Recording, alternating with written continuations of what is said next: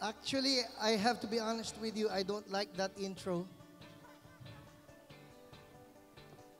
When our people are preparing for some uh, intro video for me, I tell them, please don't include that part.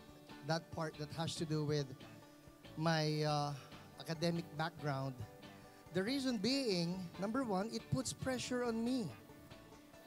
Because suddenly these people who don't know me from zero, like, they will think that I'm intelligent and I'm not.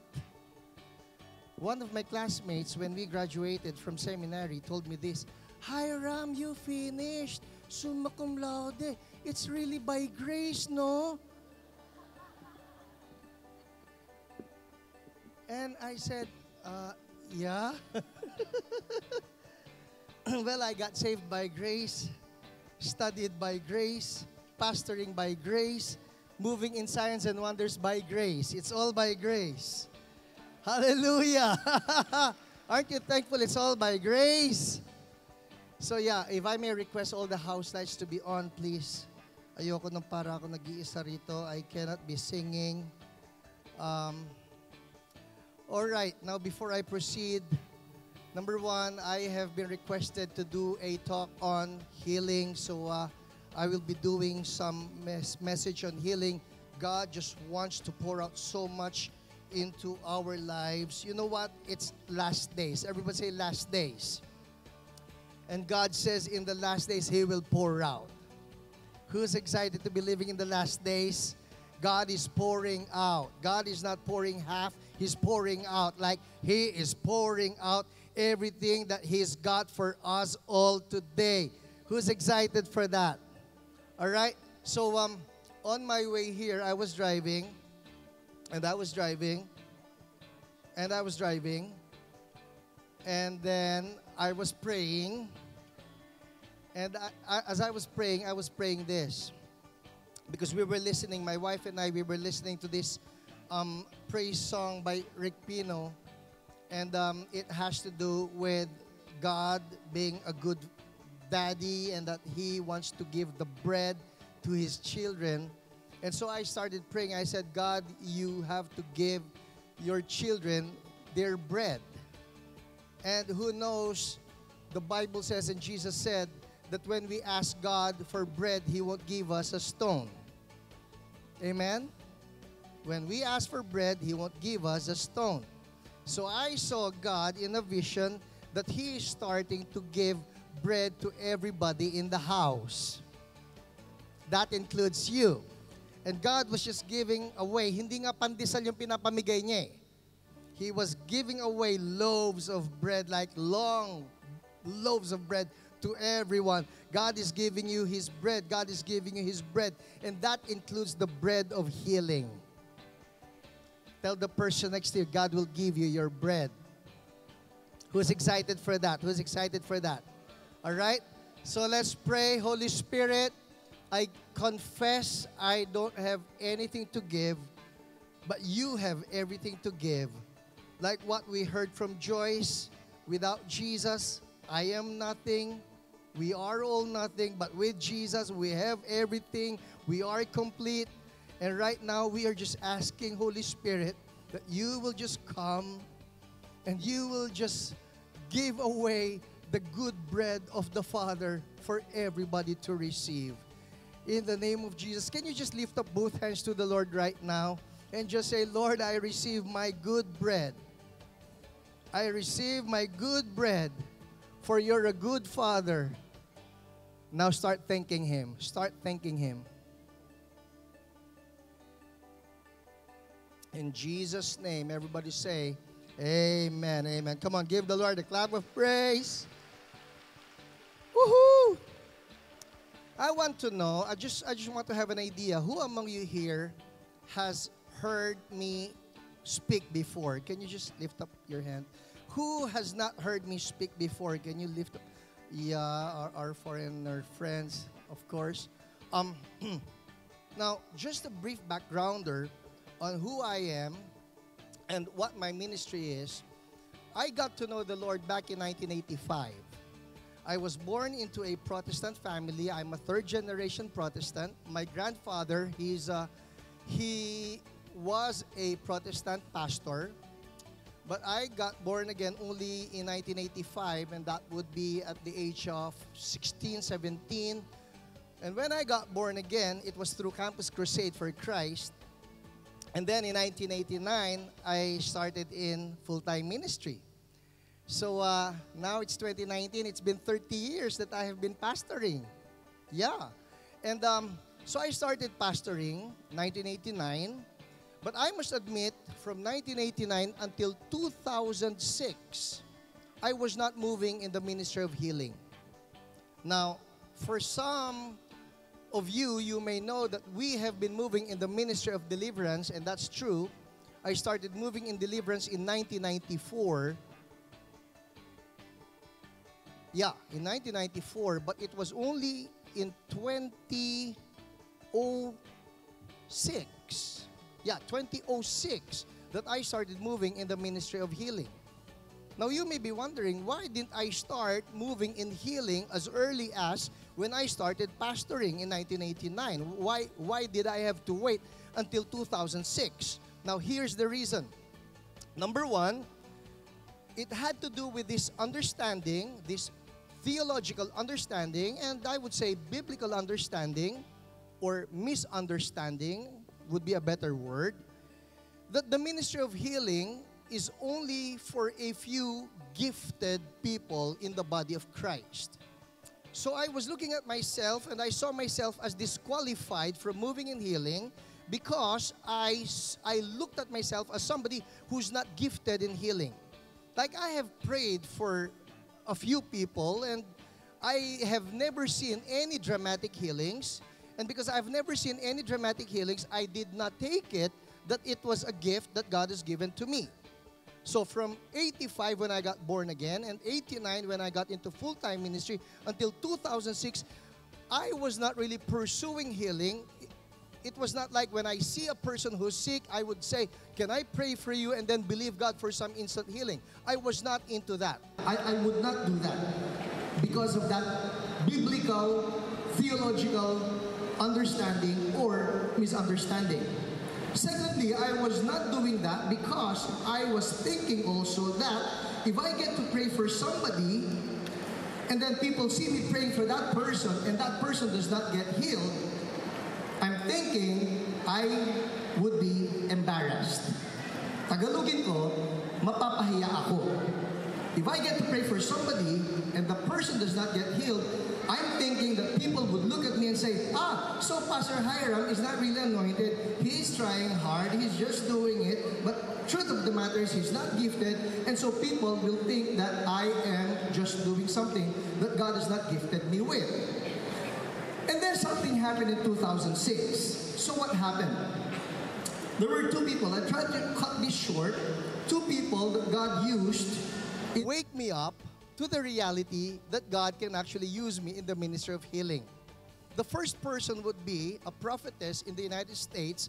Her name is Jill Austin. So Jill prayed for me, prophesied over me, laid her hand on me, and then I fell on the floor and I started seeing a series of visions. And in those visions, I saw myself praying first for one person, and then I was praying for three, four people, and then I was praying for 10 people. And then I saw myself praying in city gymnasiums for hundreds of people. And I was seeing many people are getting healed.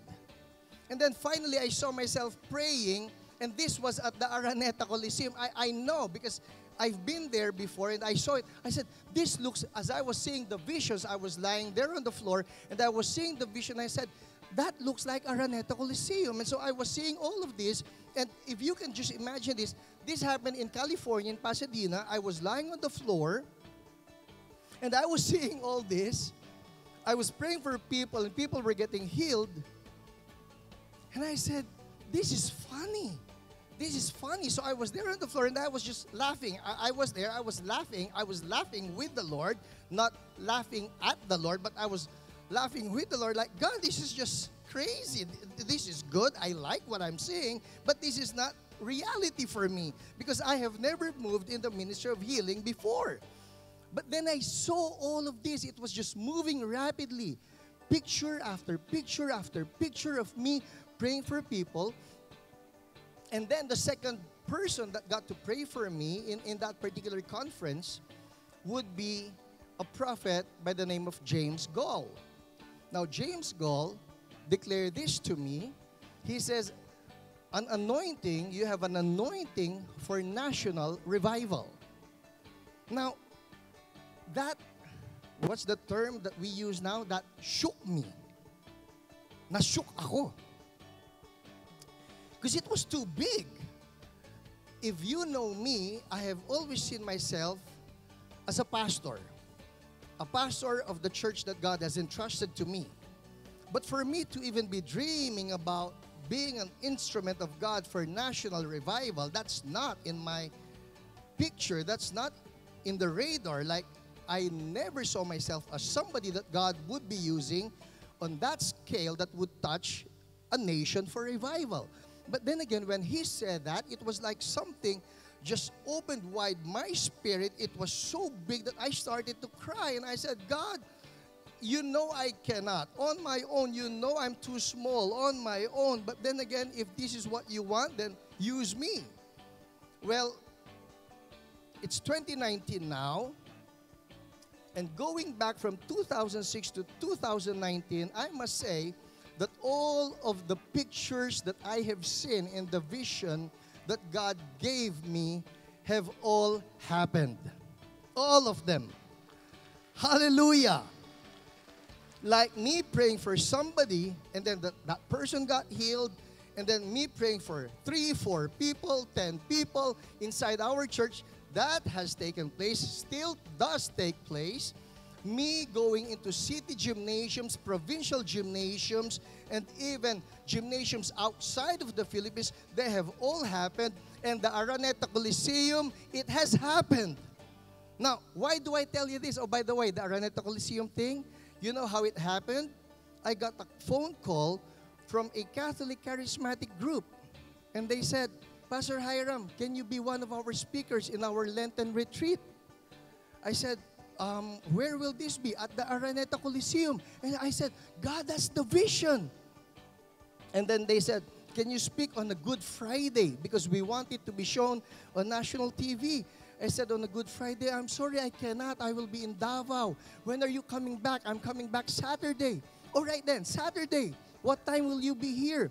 Um, my flight, I will be there by 3 p.m. Okay, can you be at the Araneta Coliseum by 5 p.m. because we want people to see how God truly heals and this will be shown on national TV? I said, Of course, sure.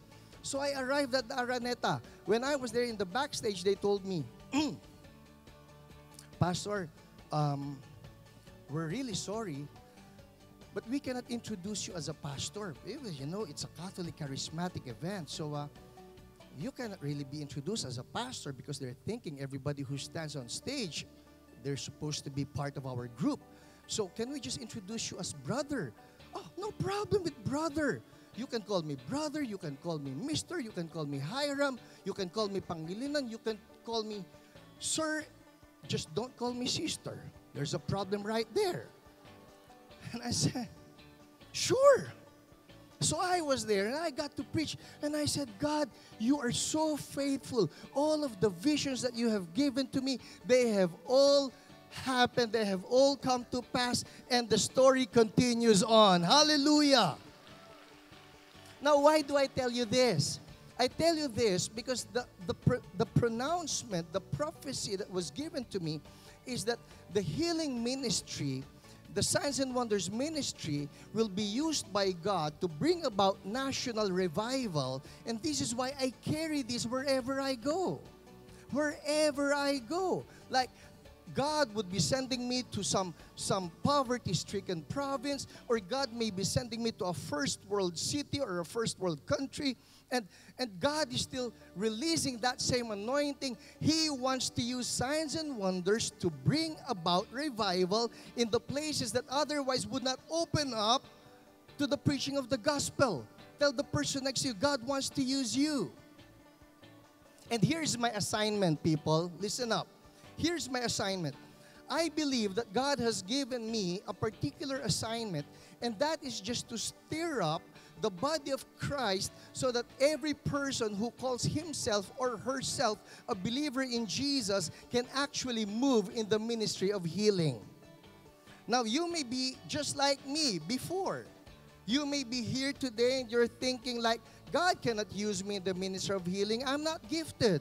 God cannot use me in the ministry of healing. I'm just a church member. I'm just one of those who get to sit on the pew in our church. Like I'm not one of the anointed ministers. But let me tell you this God wants to use every believer to move in the ministry of healing. Tell the person next to you, God wants to use you. Naniwala ba? I remember posting on Facebook a status message that says this I dream of raising up an army of healers from ordinary believers. When I posted that, oh my goodness, so many people just responded to it like like like like heart heart heart. Nobody re- nobody responded with the angry face no sad face, just like, like, like, heart, heart, heart. And then some comments like, count me in, Pastor. I want to be a part of that army. Um, uh, um, uh, I, I am believing with you, Pastor. Like, it just went. Like in a few minutes, so many people responded to it that at the end of the day, more than a thousand actually responded to it. But then, one person, and he's a professor in the seminary somebody that we really respected, somebody that we really looked up to, and that somebody that you don't want to argue with because you know he's really good, he's intelligent, he knows the Bible, he's very brilliant in theology, and he says this Hey, Hiram, that's a noble idea. But then again, you need to understand healing is not for everyone, it is a gift that God has given only to a few specific people in the body of Christ. So he responded with that. And I was thinking, oh my goodness, why did he have to comment on this thread? Like so many people were just so passionate, so on fire, like, yes, amen, count me in, pastor, like, like, like, love, love, love. And now he is just quenching the fire. I mean, those guys who responded, their hearts were on fire already. And now he's saying, sorry, Hiram, noble idea, but it's unscriptural. So I was thinking, God, do I respond to this guy? Because if I respond to him, he may respond again. And I told you, he's brilliant, he's intelligent. I don't want to pick a quarrel with him, at least not on Facebook. So I said, No, Lord, I'm not going to respond to him. But then Holy Spirit was telling me, if you don't respond to him, those people who would like to be a part of the army of healers would think he's correct. And so now they won't want to move in the ministry of healing anymore. They don't want to be recruited into the army of healers anymore. So you'd better respond not for your sake, but for the sake of everybody else who wants to be used by God in the ministry of healing. So I said, All right, Lord, okay. So I'll reply. So I started typing. I know where you are coming from, sir. You're coming from 1 Corinthians 12, where the Apostle Paul said that the Holy Spirit has gifted some with the gifts of healing. But I'm not coming from the Apostle Paul. I'm coming from Jesus, who said in Mark 16 that these signs will accompany those who believe. That we will drive out demons in His name, we will speak in new tongues, we will be supernaturally protected, and that we will lay hands on the sick and they will be healed. So I typed that Hey guys, I typed that. I just typed it. And so I prayed again God, now grant me the boldness to press enter. Because that's a different story. Because I, if I press enter, then it goes into the internet world where my professor will see it. And where hundreds others who said, Amen, I want to be a part of the army. Count me in, Pastor. God, here goes. Enter. And I said, Lord, let him not reply anymore. The following morning, I opened my laptop, and then lo and behold, there was a reply from the professor, the brilliant theologian, Bible scholar. And he says this That's a good point, Hiram. Count me in. Hallelujah! Woo! Ha! Ha! So I took that as God's go signal. Go ahead. It's a dream from heaven. It's a dream from ma- it's a dream from the heart of God. He really wants that every believer will be a part of the army of healers. And I'm talking to you right now. I don't care what denomination you came from. I don't care what church you came from. I don't care what theolo- theological um, um, background that you may have or whatever slant that you may have. Understand this it is Jesus' statement. It is Jesus' statement, not my statement, not anybody's statement, not any denomination statement. It is the statement of Jesus. He says, These signs will accompany those who who? Who? Now, he did not say these signs will accompany those who are pastors. He did not say these signs will accompany those who are missionaries or bishops. He did not say that these signs will accompany those who occupy positions in the church. He says these signs will accompany those who believe. Who's a believer in the house? Imagine this. What if every person who calls himself or herself a believer in Jesus actually starts taking Jesus at his word and says, Jesus, you know what? I'm a newbie. I just got born again. But Lord, I don't care. I want to move in signs and wonders because you said so. I believe this with all my heart. I believe this with all my heart we can actually hasten national revival, be it in the Philippines, or be it in Japan, or be it in Afghanistan, or be it in the United States or Canada, wherever. We can hasten national revival if only every believer will start moving in healings and miracle signs and wonders. I was in Japan. One of my friends invited me, and he says, Bro, can you bring that message to Japan? I said, Gladly. So I was there, I was in his church. And then he gave me some um, tips before I got to minister. And he says this By the way, he says, I don't want you to get your hopes up. W- what do you mean? Well, because here in Japan, you know, missiologists, the ones who are studying missions, they say that it takes 10 years for you to convince one Japanese guy about the claims of Jesus. 10 years to convince one. So if you have a church of 10 people, it must have taken you 100 years. So I said, seriously, yes. They will not just believe you. Your talk about Jesus, it will take lots of convincing for them to just say yes to Jesus. Okay, so I was surveying the area, I was looking at the church and I was looking, oh yeah, most of them were Filipinas. Filipina women, Filipino women.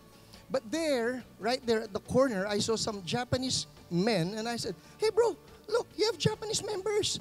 Oh, those guys, they're not really members. Oh, who are they? What are they doing here? They're the husbands of these Filipino women. They're here because they're part of the Takusa. I said, Takusa, yeah, takut sa asawa.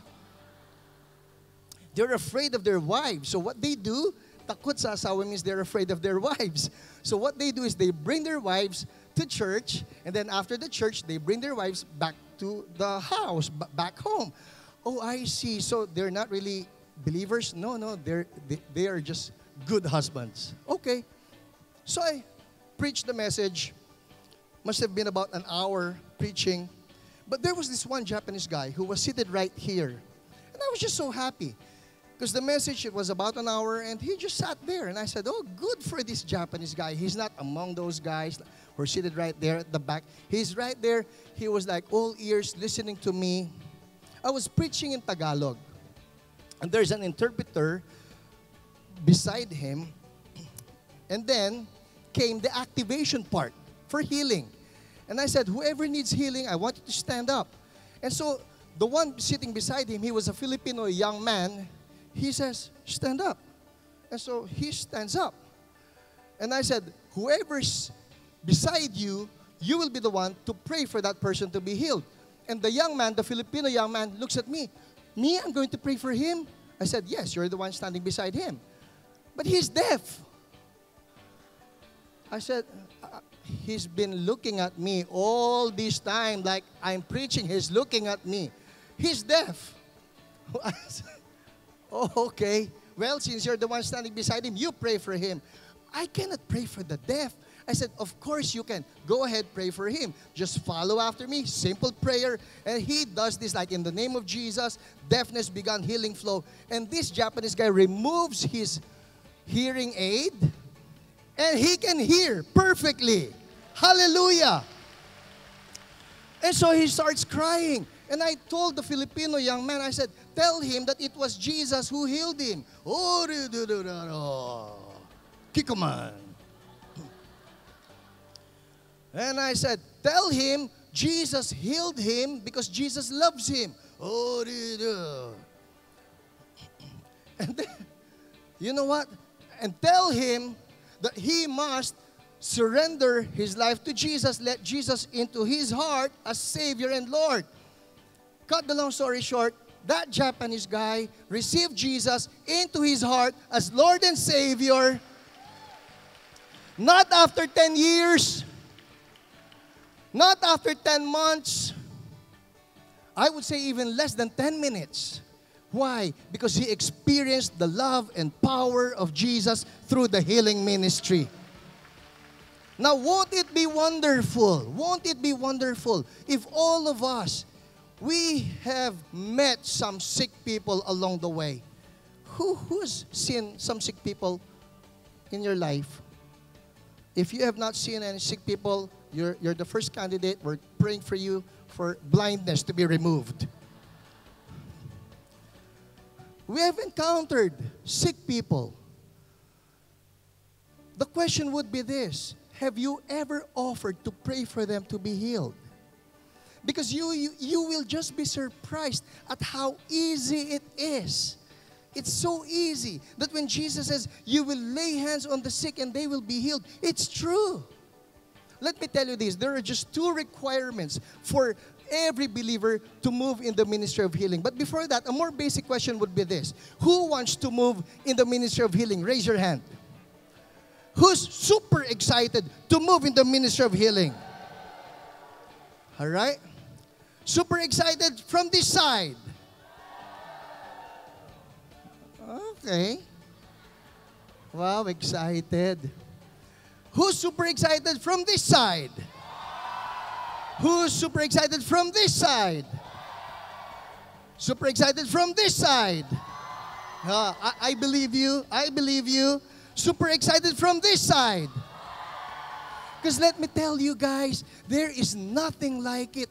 Adrenaline starts to pump. Like, oh my goodness, there's this person walking with a cane. You don't need discernment from that. Like, God, is this person sick?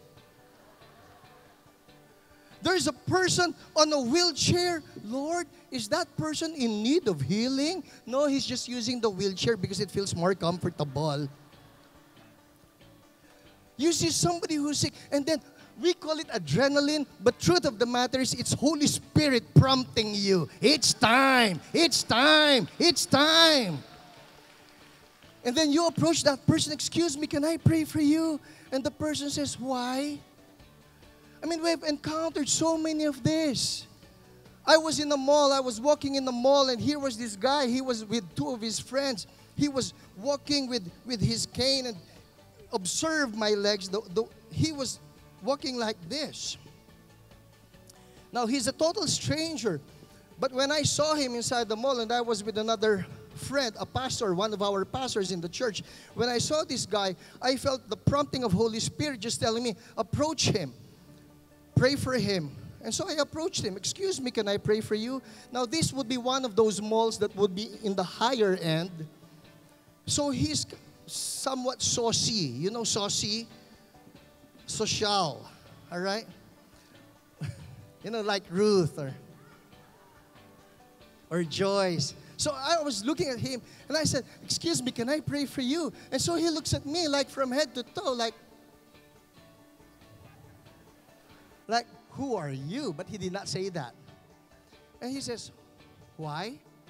And I said, Well, because Jesus, we, he's been healing people. We've prayed for some people, and some have been healed, and I believe Jesus wants to heal you.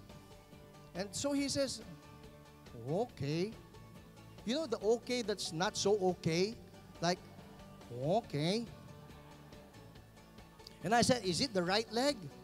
Yeah, it's the right leg. Okay, so let's pray. In the name of Jesus, I command the right leg to be healed. And I said, Check it out. He says, What do you mean, check it out? See if something changed. And so he starts doing this. Well, it's not stiff anymore. Oh, you mean to say before we prayed it was stiff? Oh, yeah, it was stiff since the motorcycle accident. And the doctor placed a metal rod from here down. Oh, so there's a metal rod. Yeah, which is why I cannot flex it anymore. It's like it's just like this. So he's using a cane. So I said, but it's not stiff anymore. Yeah, it's not stiff anymore. Is that good? Oh, yeah, it's good. Can we pray again? Oh, sure.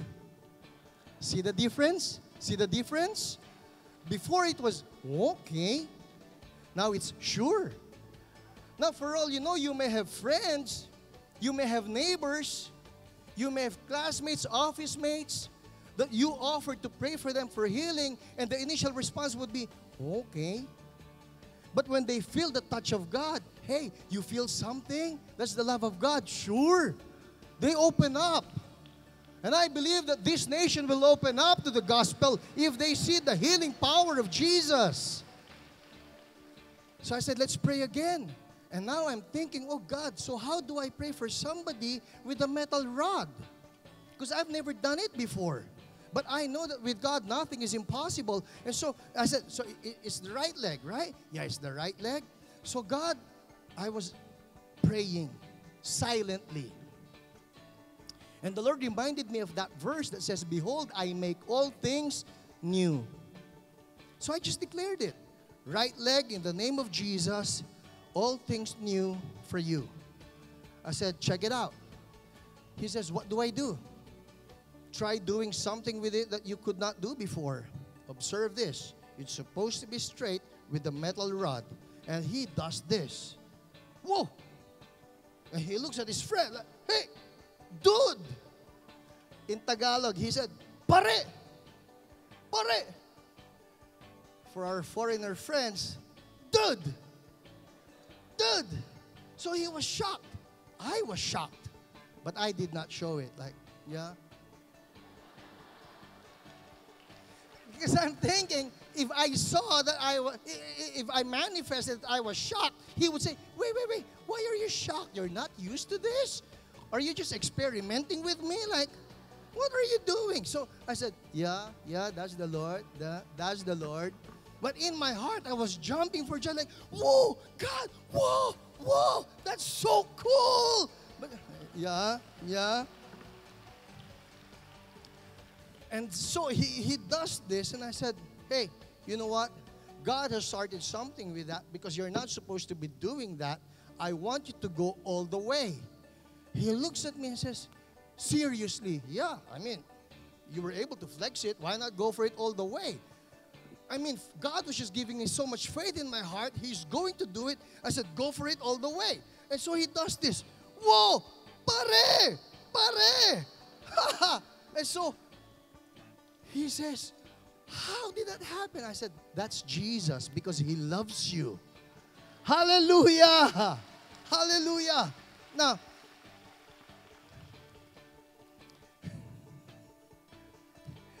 just in hindsight, I knew it was faith. Because faith is being sure of what we hope for and being certain of what we do not see. If not for that faith, I would not say go for it all the way.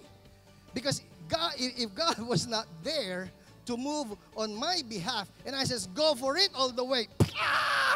Pare, yung bakal, tumusok. Ha, dugo. I said, I'm sorry, just experimenting. Well, he cannot run after me. He has his cane.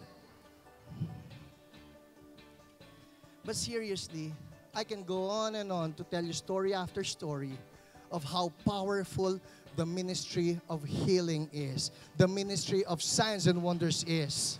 And the good news is, God wants to use every believer to move in it. Amen? Imagine this. What if all of you, how many are we today? 9,754? Or 22,000, I'm sorry, okay? What if all of us will just take Jesus at His word and say, you know what, Lord? I am just an ordinary believer, but you are an extraordinary God. And I'm taking you at your word. And so I'm going to move in this. I'm going to move in faith. The next person that I see who's sick, I'm going to offer to pray for them, lay my hand on them, and see you do the impossible. Amen. And if we all do this, I believe this with all my heart, it's just a matter of time when we can see this nation revived for Jesus. Hallelujah. So, enough talk. Bible says this, the kingdom of God is not a matter of talk, but of power. I want that every person in this room today who's feeling anything, any pain, any sickness, any disease, you've been diagnosed with something terminal or something that's incurable, guess what? With God, nothing is impossible. If that's you, simple lang yan, sipon o cancer. Hey, Pastor, sana matapat ako dun sa sipon. Mas kaya ko yun. Gusto ko yan. Brad, ano sakit mo? Cancer. Ay, dun ka sa pastor. ano sakit mo? Masakit ulo ko. Ay, pwede ka sa akin. Akong bahala dyan. At least pag hindi umarya, meron akong paracetamol dito. Hey, whatever your sickness is, whatever your disease is, I want you to stand up to your feet. We're going to see God break out in this place right now. Come on, come on. Stand up to your feet. Yeah, knee pain, shoulder pain, money pain. That's for tomorrow. That's for tomorrow. I'm telling you. Tomorrow we're going for signs and wonders. Tomorrow we're going for signs and wonders like miracle money. We're going to go for that. We're going to go for instant height increase. That's tomorrow. That's tomorrow. We're going for instant weight loss. That's tomorrow. But today, it's healing day. It's healing time. All right? Oh, wow. So you've been here these past few hours. You have been tolerating that sickness or that pain. But today we say it ends in Jesus' name. All right? So this is what I want you to do. I want you to partner with someone Lalaki sa lalaki, babae sa babae, woman to woman, man to man. Go ahead. Just partner with someone. If it's possible, partner with somebody that you're not so familiar with. Partner with someone that you're not so familiar with.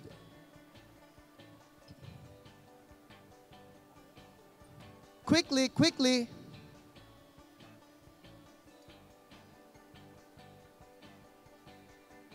All right? Nobody pray. Not yet. Not yet. Just go get a partner. Just go get a partner. Hallelujah. Okay? Who has a partner? Raise your hand. Who does not have a partner? We're not looking for lifetime partners, people. Okay? Just go for somebody who will partner with you in prayer. It's easy. Okay, shh, listen up. name the sickness. I speak to you by the authority of Jesus, be gone now. Healing flow in Jesus' name. Thank you, Lord. Amen. Remove your hand. Check it out. Check it out. Seriously. Check it out. Something is happening right now. Something is changing right now. Ha ha! Ha ha! Ha ha! All right. Very quickly. A, it's your turn. Turn to B. Ask him, what's your sickness? Just know the sickness. Don't go ahead of me. We're doing a different thing this time. All right? You know the sickness now? Shh. You know the name of the sickness now? Good. All right. Now I want you to place your hand on that part. Understand this. Holy Spirit has lots of ways to heal people. You remember Jesus, he healed in different ways. Sometimes he even uses saliva. Right? So right now, shh. We're going to we're not going to use saliva. but we're using the joy of the Lord. Because the Bible says that a merry heart, a cheerful heart is good medicine. All right? You know the name of the sickness? Say this in the name of Jesus. Sickness, name the sickness. Ha ha ha ha ha. Ah ha ha ha. Ah ha ha ha ha. From head to toe. Now do it with feelings. oh, let the heaviness lift off. Let heaviness lift off in Jesus' name. Ah ha ha ha.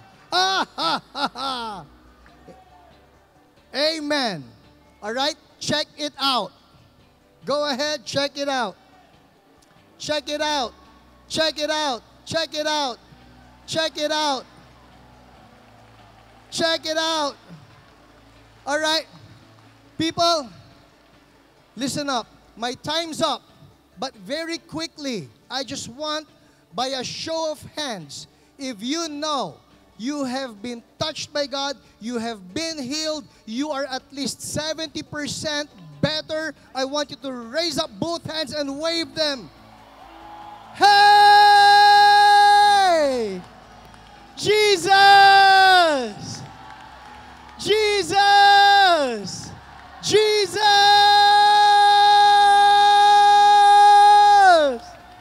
Woo! Ha ha! Who's amazed by Jesus? Now let me ask you one final question. Did I pray for any one of you? Did I lay my hands on any one of you? You prayed for each other. You know what that says? That says every believer can be used by God to move in the ministry of healing. Hey! and Lord, we say, all the glory and all the honor we bring back to you, for you are worthy. We thank you that by your wounds we have been healed, and we can declare healing on the people that you bring to our paths. In Jesus' name, amen, amen. Come on, the best clap of praise. Woohoo! Hallelujah.